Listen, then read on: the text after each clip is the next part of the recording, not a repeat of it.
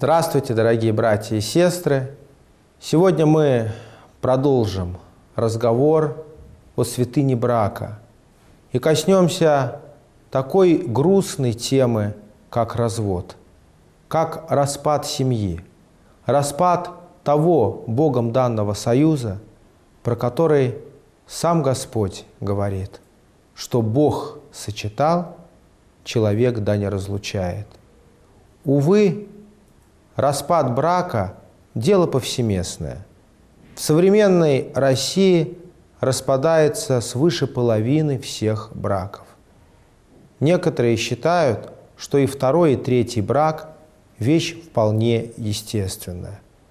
В то же время церковь всегда говорит и настаивает на том, что идеалом является, конечно же, один и нерасторжимый брак – ибо браки совершаются на небесах. Развод – дело небогоугодное, страшное и греховное. Когда происходит развод, победителей нет. Все побежденные. Был прекрасный сосуд, была прекрасная ваза, и вот она раскололась. Был брак, и вот его нет. Речь не идет просто и только о браке венчанном, браке, в который вступили перед лицом церкви муж и жена. Церковный распад брака – это еще более страшная и тягостная вещь. Но даже если и не было церковного благословения, если люди пока еще к нему не пришли, но в то же время они были мужем и женой перед лицом общества и государства – скрепили взаимными подписями и согласием свой брак, то и это дело немаловажное. И если и такой брак распался, это тоже горько. Зададимся же вопросом, почему же брак расторгается? И ответом на него является только одно. Муж и жена не имели достаточной любви, достаточного желание сохранять свою любовь, не готовы были на подвиг крестоношения, не умели простить и пойти навстречу тому, кто рядом с тобой.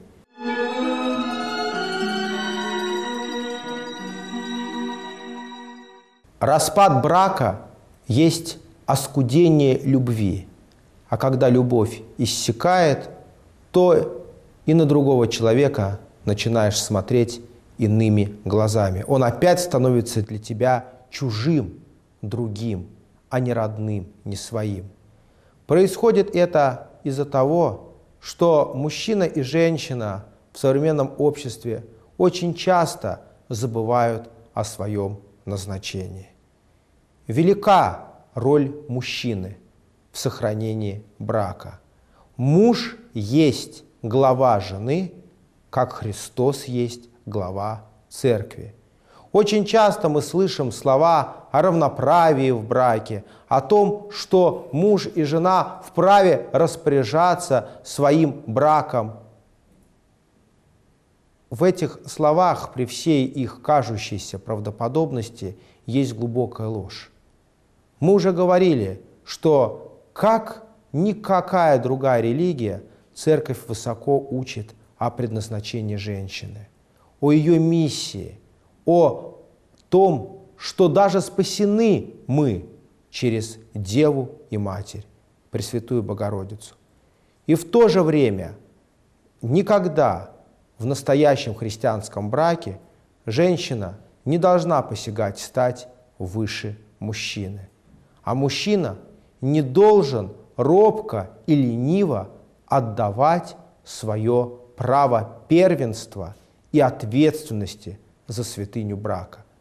Я позволю себе процитировать святителя Григория Богослова о том, что в браке муж и разница в возрастах большая, не обязательно в этом отношении. Здесь должна быть глубочайшая степень ответственности, что муж в браке всегда является хранителем и в определенной степени воспитателем своей супруги. Видишь ли, что жена прикрасилась или подкрасилась, сотри. Или у нее язык дерзкий, уцеломудри, или смех неблагопристойный, сделай скромным. Или замечаешь неумеренность в издержках и в питье, ограничь.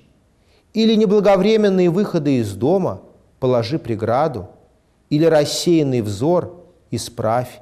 Но не отсекай, не отлучай от себя поспешно, ибо неизвестно, кто подвергается опасности, отлучающий или отлучаемый, то есть муж или жена. Вот эта высочайшая миссия супруга, мужа, где она сейчас? Она кажется совершенно утерянной и даже вызывает недоумение. Однако в христианском учении супруг отвечает за внутренний мир своей супруги.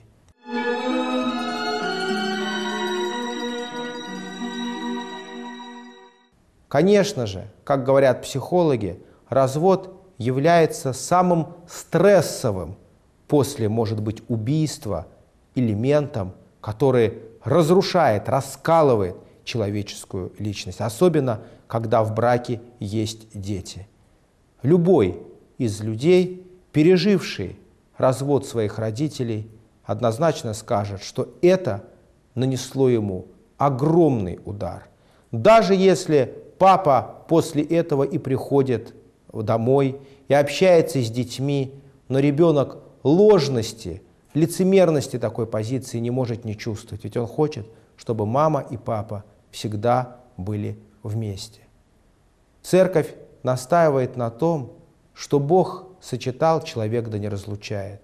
Развод – дело противоестественное и греховное, и в то же время разводы повсеместны. Более того, в некоторых случаях церковь принимает этот развод. Это не значит, что это норма. Некоторые говорят, а что нужно для того, чтобы развенчаться? Думая, что развенчаться – это совершить какой-то обряд или получить какое-то свидетельство или какое-то благословение священника. Но разве оно возможно? Разве возможен какой-то обряд развенчания, то есть отъема, снятия благодати? Разве возможна отмена благословения Божьего? Нет, невозможно. Развод церковный – это всего лишь констатация факта, свидетельство, что ваза разбита, что мир нарушен, что цельность разъединена. Сам Господь Иисус Христос говорит, что если кто разведется с женой своей, разве греха прелюбодеяния, тот является сам прелюбодеем. Мы в этих словах находим некоторые, чувствуют какое-то некое допущение, разрешение все-таки развода из-за прелюбодейства. Но на самом деле Священное Писание – здесь свидетельствует о том, что прелюбодейство – это не разовая измена, а это сознательное и открытое сожительство с другим человеком, глумление над браком, отмена того союза, который был, откровенное гнушение им. Только тогда муж дает разводную своей жене. Конечно, и жена в этом отношении имеет полное право дать разводную своему мужу в знак полностью сокрушенного таинства. Но если кто-то считает, что это просто такое нормальное право, тот глубоко ошибается. Это горькое и несчастное исключение из общего правила цельности брака.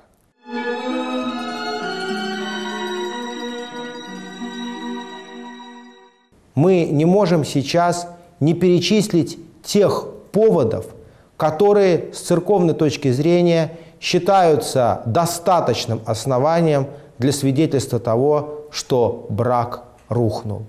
Я перечислю эти горькие основания, которые изложены в социальной концепции Русской Православной Церкви. Помимо открытого прелюбодейства, такими причинами является отпадение супруга или супруги от православия, например, переход в какую-либо сектантскую организацию, сопровождающийся проявлениями враждебности на религиозной почве, понуждением православных членов семьи к измене своей веры. К сожалению, такие случаи, особенно переходы в секту, когда совершаются в семье, дело у нас достаточно редко встречающиеся. Противоестественные пороки, например, гомосексуальные связи. Церковь считает, что уличенный в таком откровенном попрании божественного закона супруг может получить разводную неспособность к брачному событь, сожитию, но только в случае, если она, эта неспособность, наступила до вступления в брак или стала следствием намеренно нанесенного себе увечья. Это право, но не обязанность. Если э, была сокрыта изначально неспособность к брачному сожитию, это грех, это ложь, которую человек допустил уже в самом начале. Если он сам об этом не знал, то таких примеров огромное число, что хотя и бездетные, но благочестивые супруги жили долго и счастливо, усыновив детей и имея утешение в своей религиозной вере и в помощи ближним. Заболевание в древних канонах сказано проказой или сифилисом. Длительное безвестное отсутствие супруга или супруги в срок 5 лет и более. Осуждение к наказанию, соединенному с лишением всех прав состояния. Посягательство на жизнь или здоровье другого супруга либо детей. Снохачество, то есть блудное сожительство между отцом и женою сына. Сводничество, то есть содействие одного из супругов прелюбодеянию другого. То есть если ради какой-то корысти супруг готов продать в рабство, неважно какое, в том числе и сексуальное, свою жену и уговаривает ее это сделать.